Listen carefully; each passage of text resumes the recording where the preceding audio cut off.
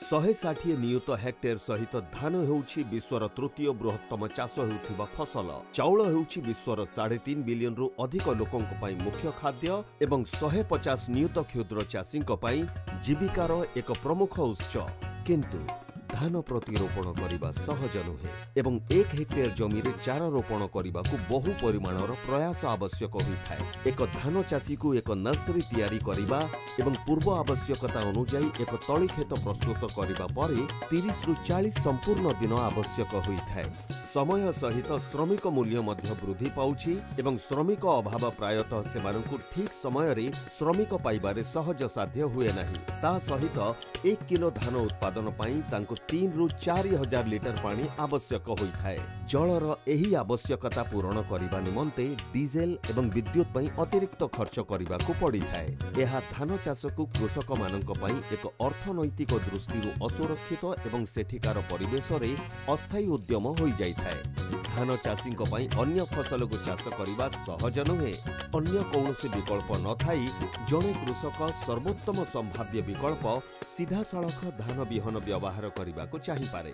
ଏହି ପଦ୍ଧତିରେ ଶୁଖିଲା ବିହନକୁ ଟ୍ରାକ୍ଟରରେ ଲଗାଯାଇଥିବା ବିହନ ଡ୍ରିଲ୍ ସହିତ ସମାନ୍ତରାଳ ଧାଡ଼ିରେ ସିଧାସଳଖ ହେକ୍ଟେର ପିଛା ମାତ୍ର ଶୂନ ଦଶମିକ ପାଞ୍ଚ ଦିନରେ ଲଗାଯାଇପାରିବ। କିନ୍ତୁ ଦୁର୍ଭାଗ୍ୟବଶତଃ ଅଧିକାଂଶ ସମୟରେ ସେମାନଙ୍କର ଫସଲ ବିଫଳ ହୁଏ। କାରଣ କୃଷକମାନେ ଡିଏସ୍ଆର୍ ଧାନ ପ୍ରଣାଳୀରେ ଆସୁଥିବା ଉଚ୍ଚ ତୃଣକ ନିୟନ୍ତ୍ରଣକୁ ପରିଚାଳନା କରିବାରେ ସକ୍ଷମ ନୁହନ୍ତି। ବାୟ ପାଖରେ ଏକ ସମାଧାନ ଅଛି ଯାହାର ଉଦ୍ଦେଶ୍ୟ ଡିଏସ୍ଆର୍ ଧାନ ପ୍ରଣାଳୀରେ ସମସ୍ୟାର ସମାଧାନ କରିବା। ଏକ ସମନ୍ୱିତ ଫସଲ ପ୍ରଣାଳୀ ମାଧ୍ୟମରେ କୃଷକମାନେ ଐତିହାସିକ ଭାବରେ ସିଧାସଳଖ ଧାନ ବିହନରେ ସମ୍ମୁଖୀନ ହୋଇଥିବା ଆହ୍ୱାନର ମୁକାବିଲା ପାଇଁ ବାୟ ପ୍ରତ୍ୟକ୍ଷ ଏକର ଏବଂ କାର୍ବନ କାର୍ଯ୍ୟକ୍ରମ କାର୍ଯ୍ୟକାରୀ କରିଛନ୍ତି ଯେଉଁଥିରେ ଉଚ୍ଚ ଅମଳକାରୀ ବିହନର ଏକ ଇନପୁଟ୍ ପ୍ୟାକେଜ ଅନ୍ତର୍ଭୁକ୍ତ ଅଛି। କୃଷକମାନଙ୍କୁ ସେମାନଙ୍କର ପ୍ରଥମ ପ୍ରୟାସରେ ସଫଳ କରିବା ପାଇଁ ତୃଣକ ନିୟନ୍ତ୍ରଣ କ୍ଷେତ୍ର ସହାୟତା ଉପରେ ଡିଜିଟାଲ ରୂପରେ ସକ୍ଷମ ପରାମର୍ଶ ଏବଂ ଯାନ୍ତ୍ରିକ ସାମର୍ଥ୍ୟ ସେବା ରୋପଣ ହୋଇଥିବା ଧାନରୁ ବିହନ ଧାନକୁ ସିଧାସଳଖ ରୂପାନ୍ତର କରିବାରେ ସଫଳ ରୂପାନ୍ତରଣ କୃଷକମାନଙ୍କ ଶ୍ରମ ଏବଂ ଜଳ ଉପରେ ବହୁ ପରିମାଣର ଅର୍ଥ ସଞ୍ଚୟ ହେବ ଯାହାଦ୍ୱାରା ପୁଞ୍ଜି ବିନିଯୋଗରେ ସେମାନଙ୍କର ଲାଭ ତିରିଶରୁ ଚାଳିଶ ପ୍ରତିଶତ ଏବଂ କୁଶଳ ଜଳ ଉପଯୋଗ ପରି ଲାଭ ମିଳିବ। ମିଥେନ୍ ନିର୍ଗମନରେ ତିରିଶରୁ ପଚାଶ ପ୍ରତିଶତ ହ୍ରାସ ଏବଂ ମୃତ୍ତିକାର ପରିସ୍ଥିତିରେ ଉନ୍ନତି।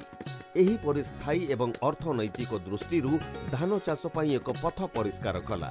ତେଣୁ ଚାଷରେ ଡିଏସ୍ଆର୍ କୌଶଳକୁ ଆପଣାନ୍ତୁ ଏବଂ ବାୟରର ଡାଇରେକ୍ଟ ଏକର କାର୍ଯ୍ୟକ୍ରମ ସହିତ ପ୍ରଥମ ପ୍ରୟାସରେ ଆପଣଙ୍କ ଧାନ ଚାଷରେ ସଫଳ ହୁଅନ୍ତୁ।